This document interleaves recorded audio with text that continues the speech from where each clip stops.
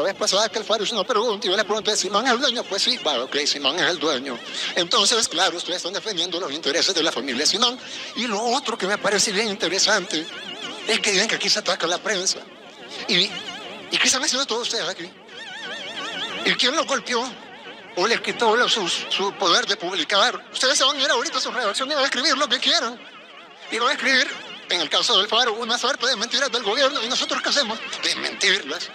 Y eso es la violación a la libertad de expresión. Desmentir las mentiras de ustedes. O sea que ustedes tienen toda la libertad que la tienen y la vamos a garantizar. Y nosotros aquí nos comprometemos frente al pueblo salvadoreño a garantizar la libertad de expresión al máximo, al 100%, y garantizar la libertad de prensa al máximo, al 100%. Pero ojo, esa es la misma libertad que tenemos todos. Porque ustedes de alguna manera, no todos los periodistas, pero estos, estos grupitos de, de periodistas incómodos, eso es autodenominan, ustedes sienten como que solo ustedes tienen el, derecho a esta expresión. O sea, ustedes pueden decir que el gobierno negocia con pandillas. Pero si nosotros decimos que es mentira y les demostramos que es mentira, estamos violando la libertad de prensa.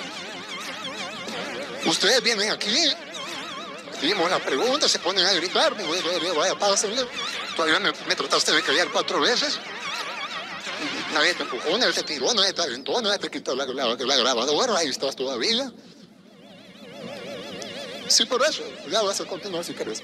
Pero lo que quiero decir es, ¿dónde está el ataque a la prensa?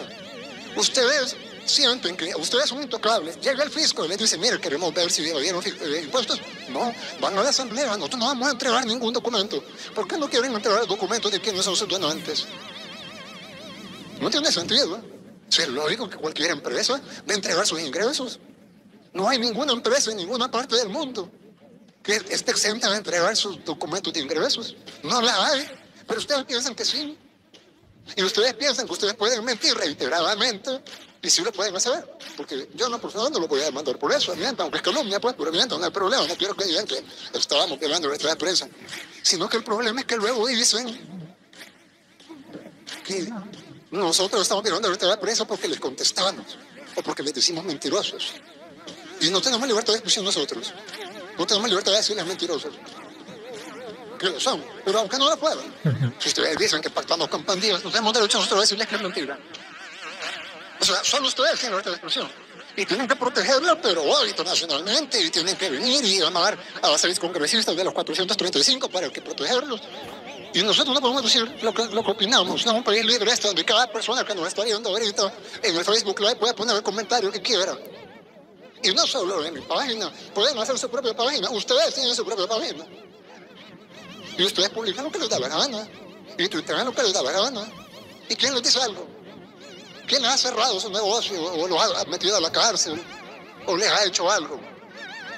Bueno, ojo, tienen una investigación de lavado de dinero, de evasión fiscal, y ni siquiera quieren entrar los documentos.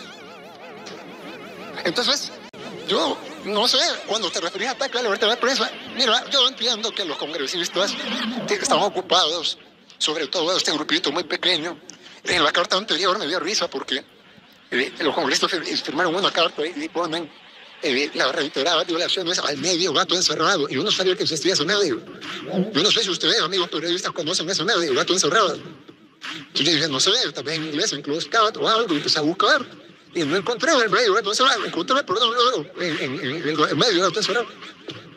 Y era una, una, casi con una página web chiquitita, o sea, ni siquiera, por menos el Faro, pues tiene accionistas como Simal, lo financia George Soros, pero el gato encerrado, bueno, también financia George Soros, pues, pero, pero, pero, porque ahí lo vi, dice abajo, pero, pero chiquito, pues, medio casi, casi inexistente, yo creo que los dueños que me están viendo en la cadena ni saben que el gato encerrado, ni una poco se bien y un congresista, bueno, perdón, 12 congresistas se van a preocupar para poner gato encerrado. Bueno, señores, no, no, o sea, no, no traten de darnos que no lo tenemos. Lo que pasa es que llega el clero del, del, congresista y le lleva los 230 cartas que va a firmar en el día y le dicen, mira, aquí está esto, mandalo la vista, ¿verdad?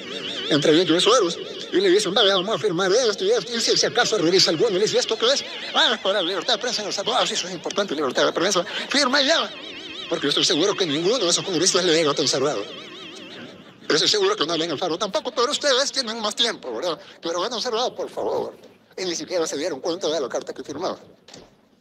Ahora, si se dieron cuenta, será muy problema de ellos. En Estados Unidos, y más ahora en tiempo preelectoral, hay un pleito peor que el que se está viviendo en El Salvador.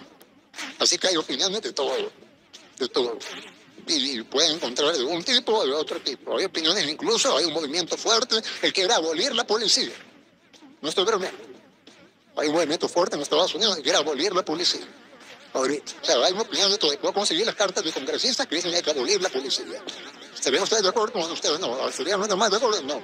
Entonces, es decir, cada quien tiene su opinión y vivimos en democracias, vivimos en un mundo libre, acá cada quien puede tener su opinión y libre de tenerla y ustedes tienen libertad de escribir lo que les dé la gana, incluso mentiras. Eh, bueno, son calumnias, pueden demandar, yo no lo puedo demandar, no se preocupen, sigan calumniando, pero pues le voy a responder, pues, o sea, no piensan que yo no tengo libertad de expresión. Mi gente, si te gustó el video, dale a me gusta y también suscríbete para que te sigan saliendo todos estos videos que estamos subiendo de Nayib Bukele. Suscríbete.